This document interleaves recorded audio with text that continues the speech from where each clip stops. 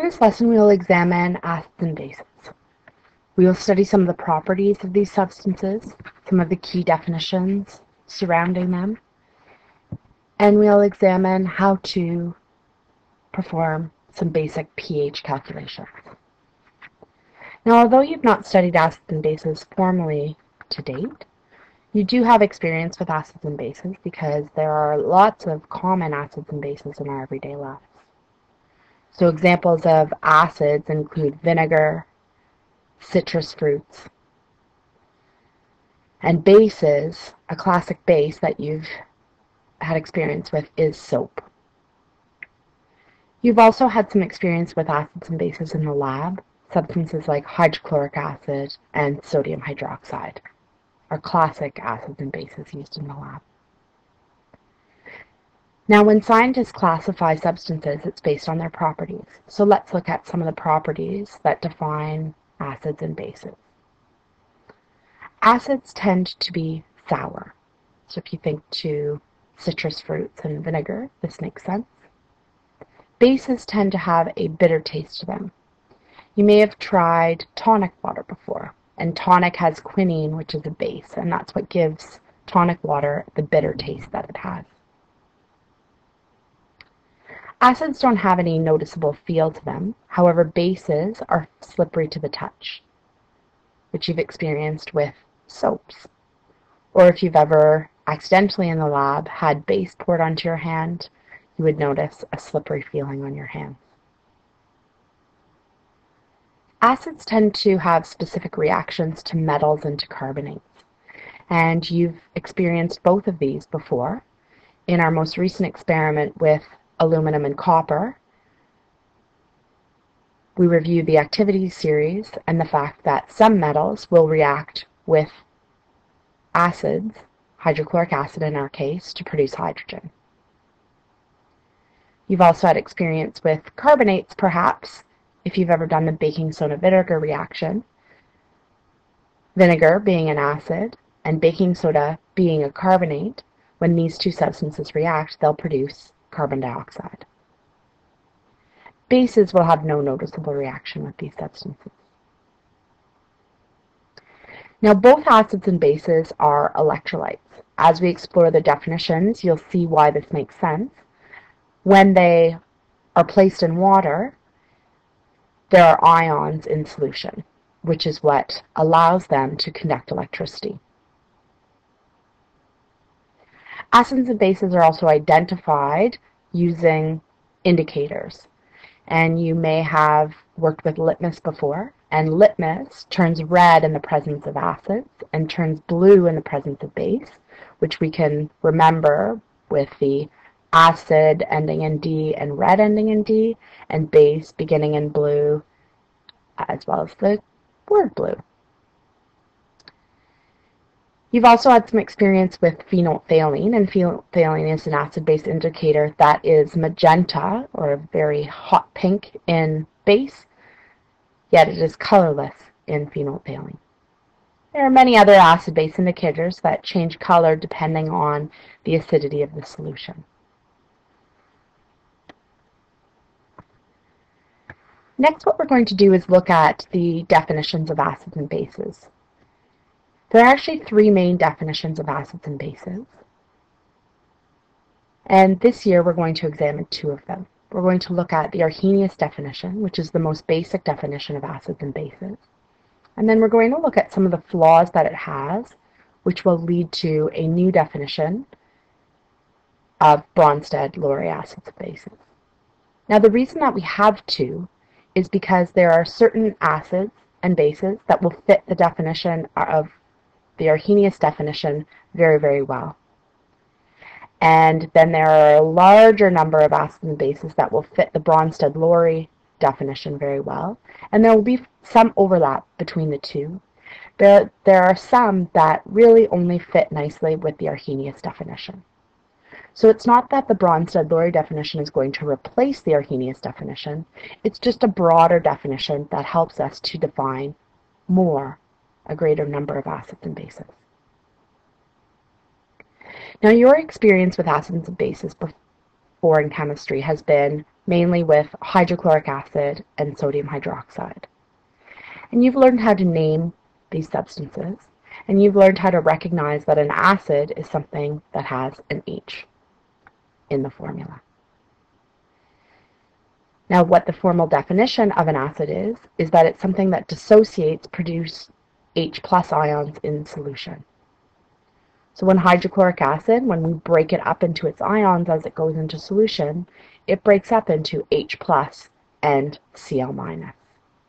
So as we can see, it fits the definition because when it dissociates, it produces this H plus ion. Now it's the H plus ion in solution that gives acids the properties that we discussed in the previous slide. So it's this H that allows metals to react to produce hydrogen. And it's this H that allows us to produce carbon dioxide when we react with carbonates. Bases, by Arrhenius' definition, following the same process, looking at how it dissociates, produce hydroxide ions in solution. You'll recognize a base that fits an Arrhenius definition by having in the formula a metal and a hydroxide. So when this dissociates, it breaks up into the metal ions and the hydroxide ions. If you look back at your solubility rules, the hydroxides were insoluble except with the alkali metals and a couple of the alkaline earth metals. These are the substances, the ones that dissociate in water. These soluble hydroxides are the ones that are Arrhenius bases. Now, by definition, under Arrhenius, when an acid and a base combine, they will produce salt and water. Essentially, what happens when you have an acid and base combining is that you have neutralization. So the acid will lose its acid properties and the base will lose its basic properties and we will be left with a neutral solution. So let's look at some examples here. These are double displacement reactions. So when you're going to form the products, when you combine an acid and a base, you'll always form water with the H from the acid and the OH from the base, and then your salt will be formed as an ionic compound from the two remaining ions. Now we do need to be mindful of the charges of the substances. So in this case, sodium has a plus one charge and chlorine has a minus one charge. So these will form NaCl. So when hydrochloric acid and sodium hydroxide mix, we have a simple one-to-one -one ratio reaction between the two, forming sodium chloride and water. In the second example, we're not going to have the same neat one-to-one -one ratio. Our salt is going to be formed by combining the sodium ions with the phosphate ions. We still have our H and our OH, which are going to make our water, and our salt is going to be combined by forming an ionic compound between the sodium ions and the phosphate ions. And the phosphate, as you can see from the reverse crossover method, or from knowing your polyatomic ions, has a negative 3 charge. We're going to do the crossover method here, and we are left with an ionic compound of sodium phosphate, Na3PO4.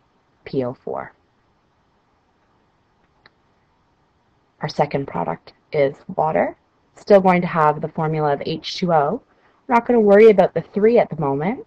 It will be balanced when we balance the reaction. To balance this equation, we need 3 sodium hydroxides. To balance the sodium, and we will produce 3 waters because we now have 6 hydrogens. So as you can see, we've got three H's and three OH's, making three water molecules.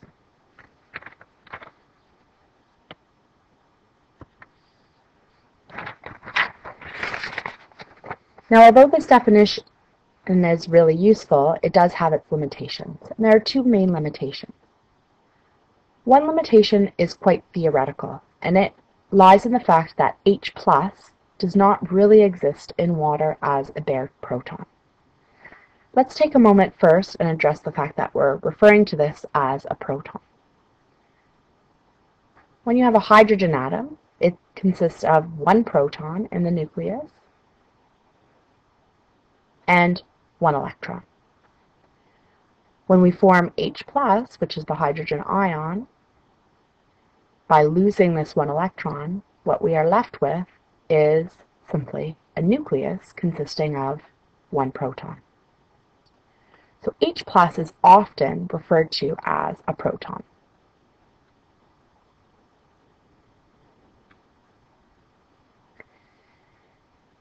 Now, if we were to zoom in and look at a solution of acid, we wouldn't actually see bare protons floating around in the solution. What happens is the water molecules actually hydrate the H+. And so the water will essentially be captured, or will essentially capture the hydrogen ions, and what will form instead are H3O plus ions which are referred to as hydronium ions. So like I said, this is quite a theoretical definition, and oftentimes chemists will use H plus and H3O plus interchangeably, and what we recognize is that H plus, if we actually were to look in the solution, would exist as H3O plus, but it's still an acceptable form to refer to the ion. So this we formally call a proton, and this one here is called the hydronium ion. A less theoretical limitation to the Arrhenius theory is that some reactions are just simply not explained using this definition. When we look at this reaction here, we've got NH3, which is ammonia, reacting with hydrochloric acid. So we know that this is an acid. And when these two substances combine, they will produce a neutral solution. So what's happening in this reaction is the acid is being neutralized. An acid is neutralized by a base. So from this experiment, we would know that the NH3 must be a base in solution. However, if we look at Arrhenius' definition of a base, Arrhenius stated that bases dissociate to produce hydroxide ions in solution. And this, at first glance, if I ask people in the grade 10 class, or if I ask many of you, you would suspect that this might be an acid, but it actually is a base. So what this means is that the Arrhenius definition does not properly explain the fact that NH3 is a base and therefore there's a need for a broader definition that includes such compounds as NH3.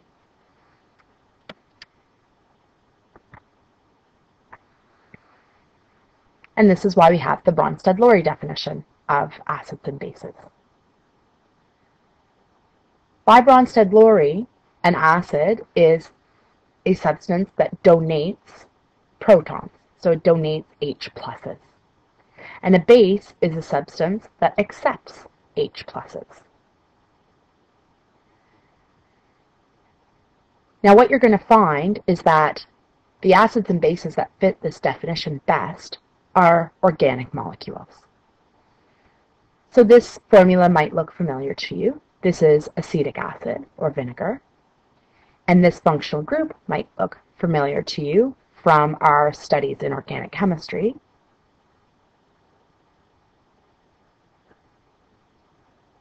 This is the carboxyl group, and it is the functional group for a carboxylic acid. Carboxylic acids have a proton available for donation. So what's happening here when the acetic acid is placed into water is that the acetic acid will donate a proton to the water. So the acetic acid is essentially losing a proton while the water is gaining a proton. When the water gains a proton, we form H3O+, which you'll recognize as the hydronium ion. And the hydronium ion, as we previously discussed, is really the equivalent of H+.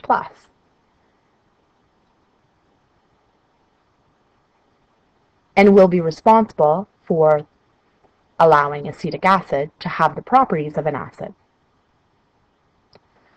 Now we'll look a little bit further into how to write these reactions later on in the lesson. Bronsted bases are substances that accept protons. So let's look at the base that didn't fit the Arrhenius definition, NH3. So NH3 has the ability to accept a proton from water. NH3 we can draw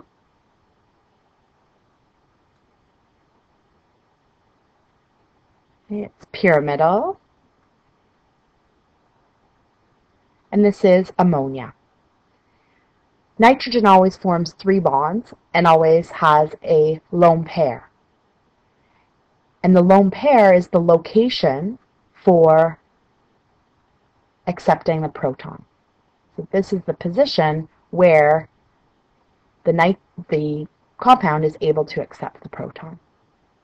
And when NH3 accepts a proton, it forms the ion NH4+. At the same time, water has lost proton, so we've taken away H+. It's lost a hydrogen atom, and its charge is reduced to OH-. So as we can see, NH3, when it's in water, by Bronsted-Lowry definition, produces hydroxide ions in solution. And it's the hydroxide ions that are responsible for the properties of bases, and therefore ammonia, although it didn't look like it at first glance, actually is a base.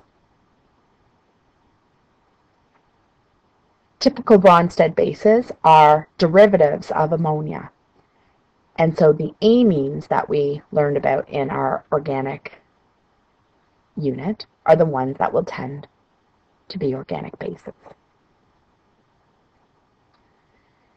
Now there are some substances that are able to either donate or accept a proton, and they're referred to as amphoteric substances.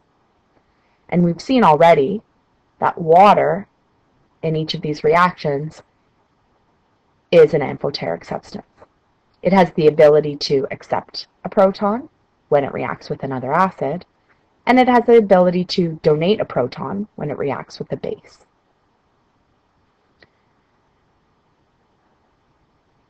There are other ions that can behave this way as well. If you look at HSO4 minus, okay, it has the ability to accept a proton to form H2SO4, which is sulfuric acid, and perhaps a familiar compound to you.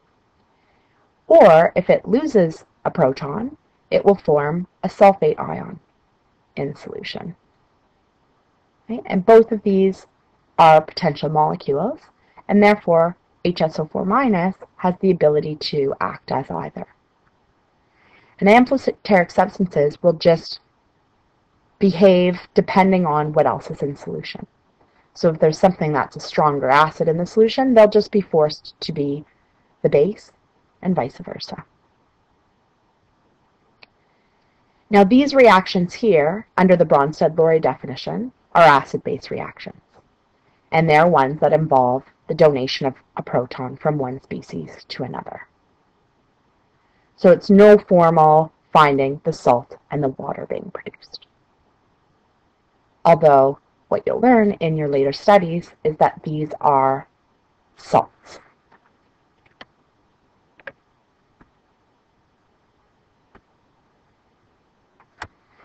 Now when you look at an acid-base reaction from the Bronsted-Lowry theory, we can identify what are called conjugate acid-base pairs. By definition, a conjugate acid-base pair is a pair of molecules or ions that differ by only one proton. One member of the pair will be the acid because it has the ability to donate a proton. And the other one is a base because it is the proton acceptor in the pair. So if we look at this example here, when we look at what's happening in this reaction, this substance has donated a proton to the water. So this substance is acting as an acid. The water in this case is acting as a base. Now when we try to identify in the products what the conjugate is, we want to find a molecule that differs by one proton. So this substance differs by one proton from this substance. This is acetic acid, and this is the acetate ion. So this is referred to as the acid in the pair because it has a proton to donate. And this is a base in the pair because it would accept a proton to become the acetic acid. The other pair of ions that we have that are conjugate pair are water and the hydronium ion. So in this pair, the H3O plus is the acid because it has one more proton than its counterpart, the water.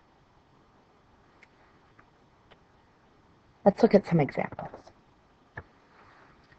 What we're going to do here is look at how we can write reactions of acids and bases in water, and we're going to identify the conjugate acid-base pairs in the reaction. Now at this stage, you'll be told what the substance is based on the formula, but I challenge you to start to recognize based on the atoms in the formula whether it's an acid or a base. So in this case, you're being told that it's a base, but the fact that it's a base and it's got a nitrogen in it should be noticed. So this is an amine. So when we want to write the reaction of the base and water, we simply write the formula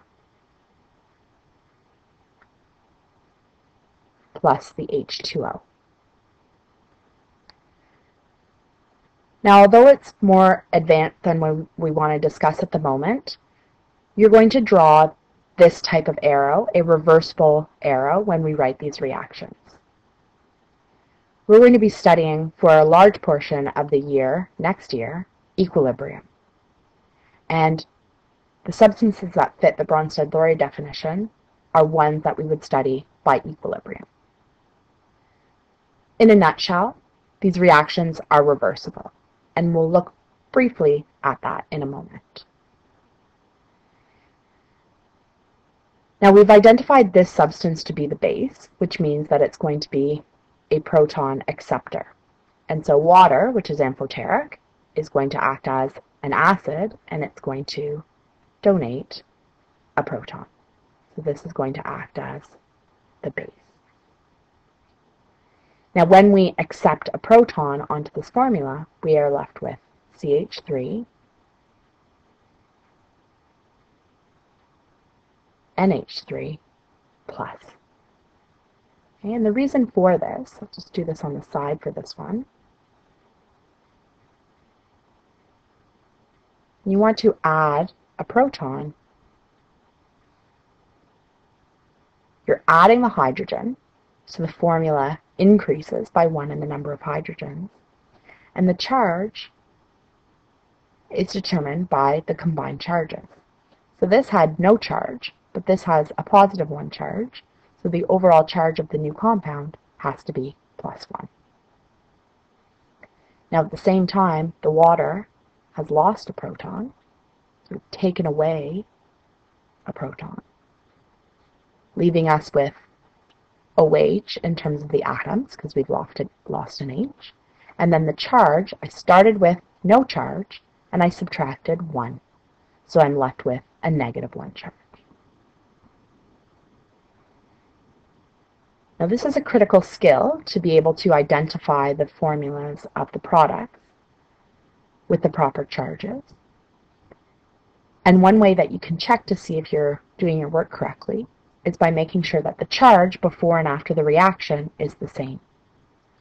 So we started with two molecules, so there were no charges, so the charge before the reaction was zero. And when we look at our products, we have one species with a positive charge and one species with a negative charge. So again, we've maintained our charge of zero.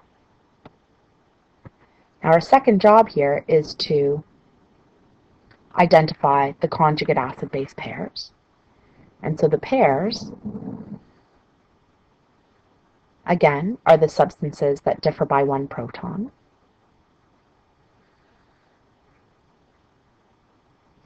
So we've got our amine and then our ion here differ by one proton. In the pair, this is behaving as a base because it has the ability to accept protons. So this one's going to be the opposite, where it's the acid because it has the ability to donate a proton. The water is my acid as the proton donor, and so the hydroxide is the base as the proton acceptor. Now let's just look for a moment at the fact that this is a reversible reaction. So we looked at the proton donation happening in this forward reaction. So the amine accepted a proton as we formed these products. And if we look at this reaction as being reversible, what we can see is that if we go in the reverse direction, this is going to donate a proton to the hydroxide. So it makes sense that it's being referred to as an acid because it has the ability to donate a proton. And it makes sense that this is being referred to as the base because it has the ability to accept the proton.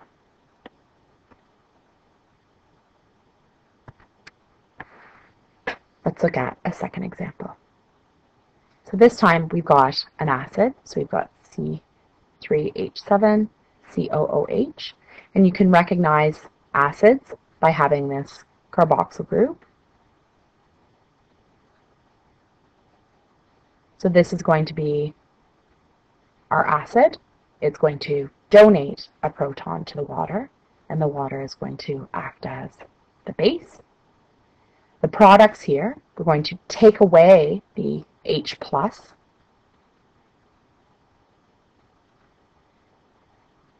Okay, so the atoms that I have left are CH3, C7, COO. And the charge here, I've taken away H plus. So I had no charge, and I've taken away one, so I'm left with a negative charge. The water, I've added an H plus, so I'm left with H3O plus, okay, which is our hydronium ion. You check the charges, you'll see that they're properly balanced at zero on both sides. And as expected, an acid will produce hydronium ions in solution. And the conjugates here, this is a, an acid and this is a base. And the hydronium is an acid.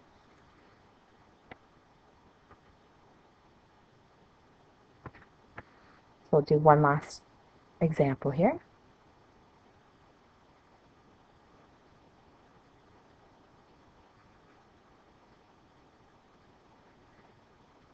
Okay, this one here is a weak base. And one question that oftentimes students will have when they're first writing these is, does it matter where I put the H+. plus? So is it, does it matter where I attach the hydrogen in the formula?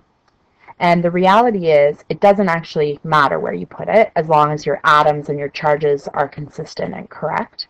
However, if you want to put the H in the proper place, as it would be good practice, what you would always do is put it near the nitrogen in the formula because that's where the proton is being accepted. So I've just attached onto the end. And in my previous example, I attached it and joined it with these two H's because these two are joined to the nitrogen and then I've attached a third one to the nitrogen.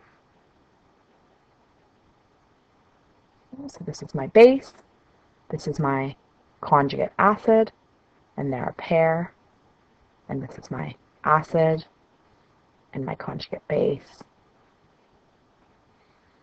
and they're a pair. So you need to be comfortable writing these reactions and identifying the conjugate acid-base pairs. And another skill that we need to have is to simply identify the conjugates of a substance. So in this case, I'm being asked to identify the conjugate base of the following. And what this means is that I'm being told that this is an acid. If they're asking you for the base, then they're telling you that the substance in front of you is the acid. And by definition, an acid is something that donates a proton. So in order to get the co conjugate, what we need to do is take away a proton from the formula. And so in this case, I'm left with CH3COO minus. So again, this one, if I'm being asked for the conjugate base of it, then I, this is being identified as an acid. And so I need to take a proton away. And if I take away an H plus from this, I'm left with SO4 in terms of my atoms. And my charge, I started with a negative 1 charge, and I've subtracted 1. So I have a negative 2 charge. And that's the sulfate ion. We can do the opposite, where we're looking for the conjugate acid, meaning that this is being identified as a base.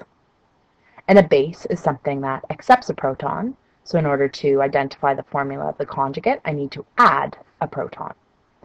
So in this case, the atoms, I'll have H3PO4 and the charge is going to be 0 because I had a negative 1 charge and I added positive 1, so I have no charge. This one here, when we identify the conjugate, I add a proton and I am left with CH3 and H3 plus. Now at this stage in the video, you may feel like you would like to pause and do some practice associated with these questions. Or you might feel like you want to continue the video and gather all the information before you do practice. But this would be a natural break. What we're going to look at for the second half of the lesson is the pH scale and some calculations that are associated and key definitions associated with the pH scale. Now you have some experience with the pH scale and things that would be familiar to you is that it's a range. It shows you a range of the pH and gives you a level of acidity of a solution. Some key points on the scale. If the pH is 7, that's considered a neutral solution. If the pH is less than 7, that's considered an acid. And if the pH is greater than 7, then that is considered a base.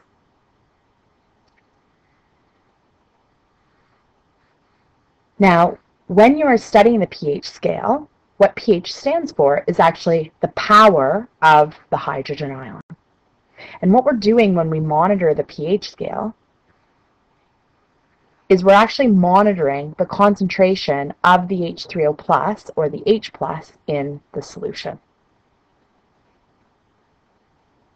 So when we look at the scale, the solutions that are most acidic or lowest on the pH scale have the highest concentration of H3O+. plus.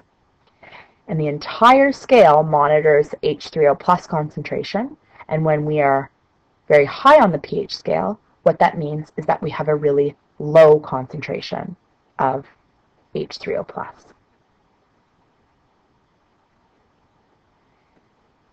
Now the square brackets that I'm using are very commonly used by chemists to signify concentration. So when I put square brackets and a substance, that means the concentration of that substance. So this is saying the low concentration of H3O+.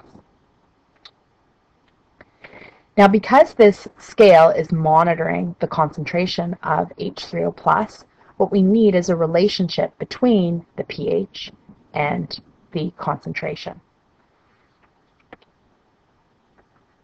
That is derived from the pH scale. The pH scale is actually a logarithmic scale. And many of you have little experience with logs, so what we're going to do is explore the relationship between the concentrations of H3O plus and the pH, and at the same time investigate the idea of what a logarithm is. What we're going to do is we're going to study this range of concentrations of H+. So if you look at them, all I'm doing is moving the decimal place over one and the concentration of H plus is just getting smaller and smaller and smaller as I go down this list.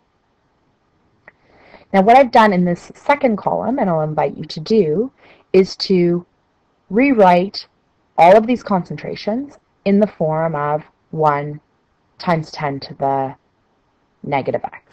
So just put basically put these numbers into scientific notation. So for example, this one here, I had to move the decimal place over 7 to the right. So this, in scientific notation, is 1 times 10 to the negative 7. It would also be really handy for you to have your calculator at this stage. So we're going to look at a couple of examples and learn how to use our calculator in order to solve pH problems.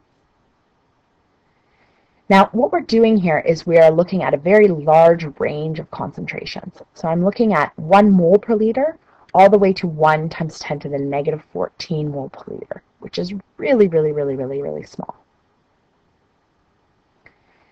Now what we're going to do is we're going to figure out what the log of our concentrations would be. Now, when you have your calculator and you enter log of a number, so if I enter log of 0.1,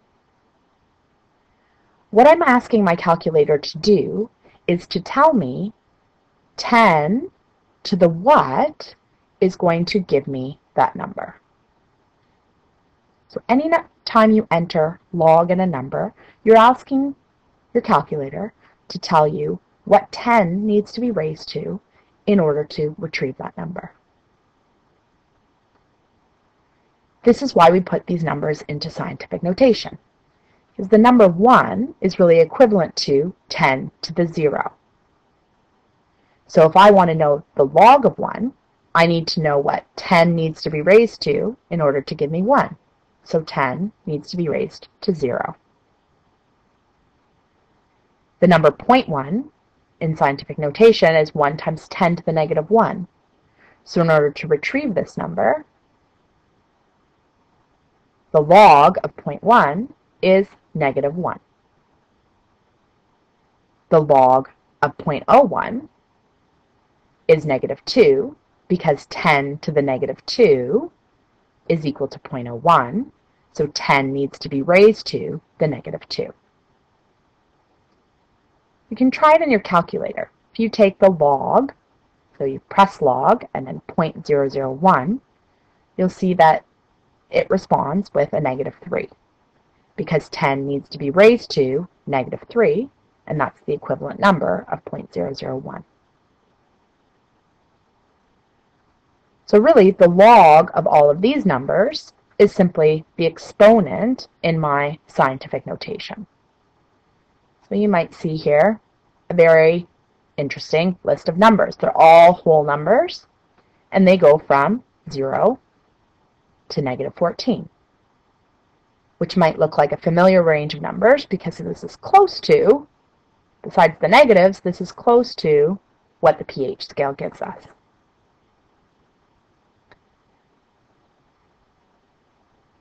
So we're going to work with logarithms, but we're not just going to take the log of the concentration in order to come up with the pH. What we're going to do is we're going to take the negative log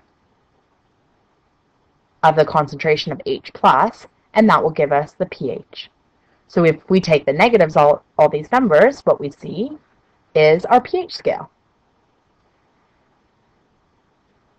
So like I said before, the pH is giving us the power of the hydrogen ion. So it's giving us an indication of the concentration of the hydrogen ions in solution. Now the reason that we study this on a pH scale is and in a logarithmic scale is because we can study a really wide range of concentrations on a very simple 14 point scale. And it's much easier for communication because if you think about communicating with the common public, talking to them about the concentration being 1 times 10 to the negative 10 molar in their local lake, that's not going to have any meaning to them. But when we put these values on a logarithmic scale, people will have a better understanding of what the pH is. Right? They can understand that that means that that is basic and they can understand that 7 is neutral, and above that is basic, and below that is acidic. Now this covers a really wide range of concentrations, and that's really important to note because although we might think, oh, we've only moved one unit on the pH scale, there's actually a large difference between the concentrations of the H plus ions in the solution. Anytime we're two units, so if we move one unit on the pH scale, that's a change in concentration of 10 times. So the concentration of 1 mole per liter is 10 times more the concentration of 0.1. And what that means is that if we move 2 units, there's a difference that's 100 times in terms of the molarity of the solution.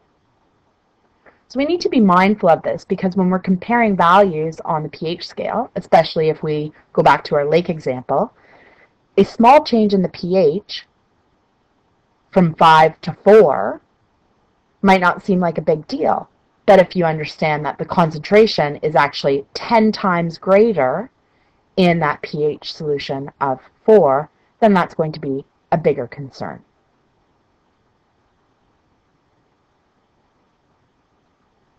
So let's just do a little bit of a practice here on our calculator.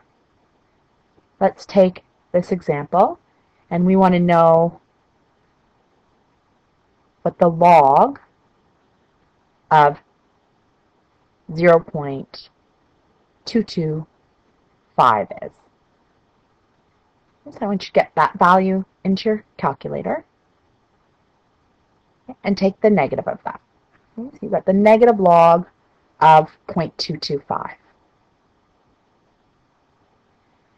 Now what we want to do is reverse that. So I want to undo the log. The opposite of log is 10 to the power of. So if you do 10 to the power of negative of your answer, see what you get. And what you get is 0.225. So taking the log and 10 to the power of are opposite functions of one another. Let's look at that in action in this table. We take 10 to the negative pH, so we've got our pH values, and we take 10 to the negative, these values, so 10 to the 0, 10 to the negative 1, 10 to the negative 2, 10 to the negative 3, what we're getting back is our concentration of H+. Plus.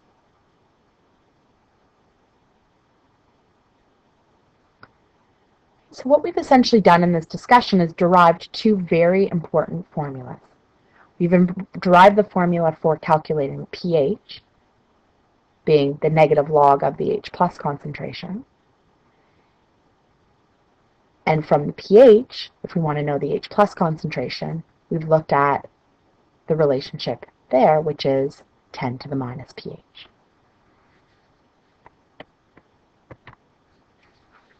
So these are two very critical formulas. This gives you a visual of when we're studying logarithms, right, the difference between two units. Okay, so we talked about this in our previous slide.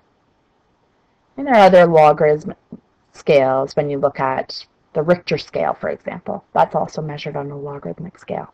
And again, why we use logarithmic scales is to study a wide range of values on a very simple scale. This diagram here gives you a nice visual of the changing concentration of H plus as we change the pH. So we're going from pH of 0 across to 14 the concentration of H plus, written as 10 to the power of the negative pH, so 10 to the 0, 10 to the negative 4. As you can see, as the pH increases, the concentration of the H plus decreases drastically.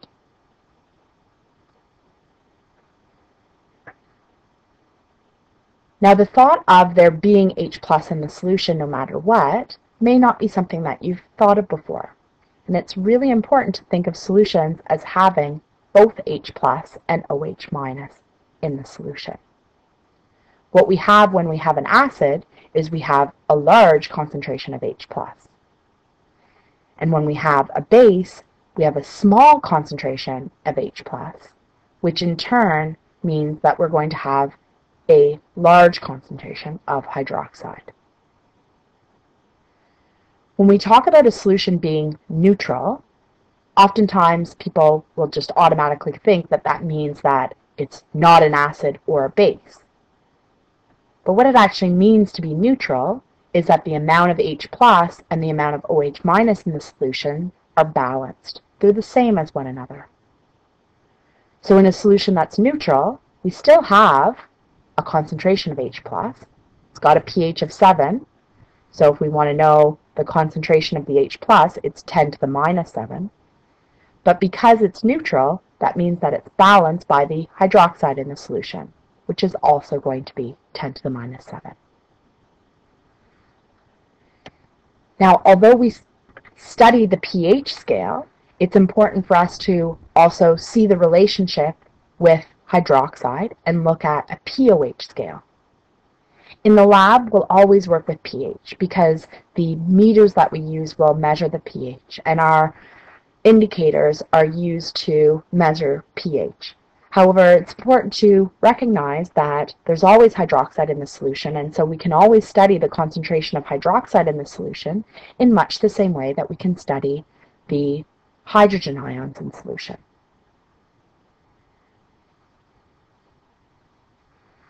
So when we look at the hydroxide, we can see the range of concentrations of hydroxide as being exactly the opposite as the range and concentrations of the H plus in the solution.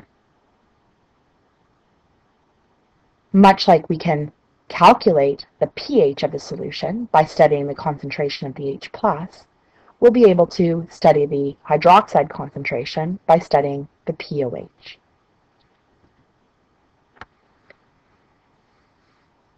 And essentially, we can put anything into a logarithmic scale we can take the power of anything. So if we look at the POH scale, we're simply looking at the power of the hydroxide ion in the solution. And the P of anything is the negative log of that substance. So POH can be determined by taking the negative log of the concentration of OH minus. And inverting this formula to solve for the hydroxide using the fact that 10 to the power of is the opposite function of the log, the hydroxide concentration can be determined by taking 10 to the power of the negative POH.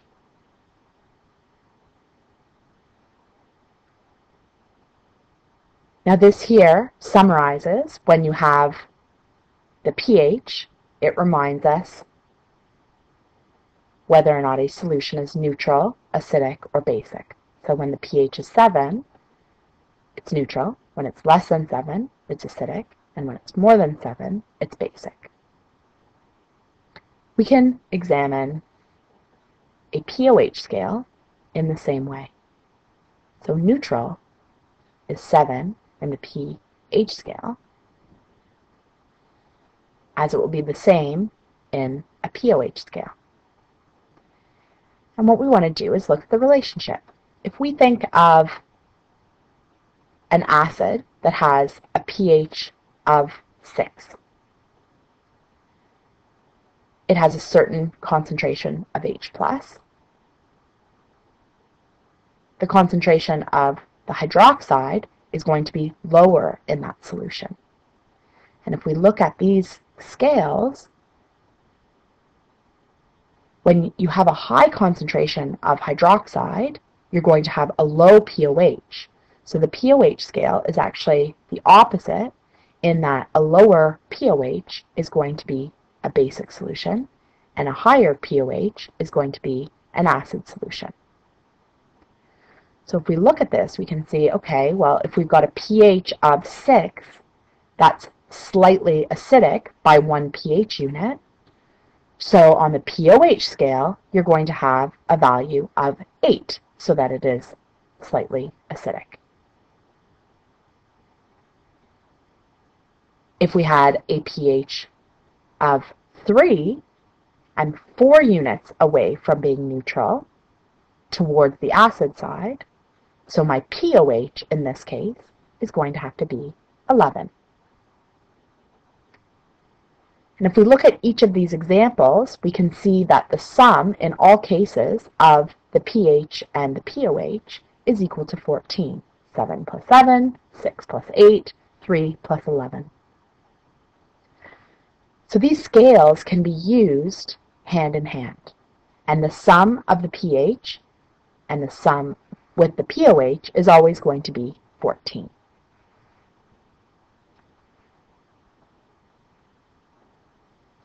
Now from this, we can derive another relationship, which is that the concentration of H3O plus times the concentration of OH minus is always equal to 1 times 10 to the negative 14.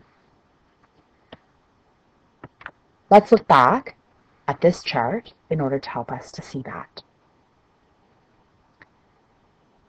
When we had a neutral solution, that meant that the concentration of H plus and hydroxide were equal, and they were both equal to 10 times 10 to the negative 7. When we multiply these, 10 times 10 to the negative 7 times 10 times 10 to the negative 7, we are left with 10 to the negative 14. Let's choose another point. If we were at pH of 10, that would mean that the concentration of the H plus in the solution is 10 to the minus 10. The POH is in turn 4, so the concentration in this case of the hydroxide ions in solution is 10 to the minus 4. And again, when we multiply these, we are left with 10 to the negative 14.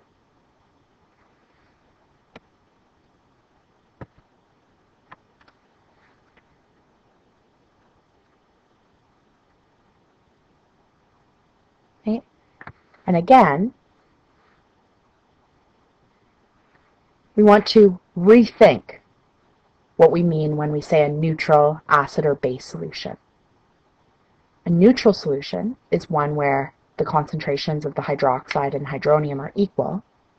An acid solution is simply one where there's more hydronium than there is hydroxide.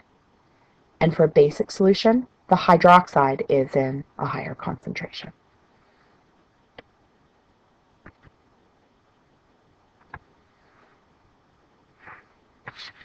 What this is leaving us with is what I'll refer to as the acid-base chemistry toolbox. We have six formulas that we've derived related to pH that are going to help us to do a number of calculations. Let's look at some examples. We want to determine the pH of these solutions. We are given the hydroxide concentration. So what we need to do is we need to find the pH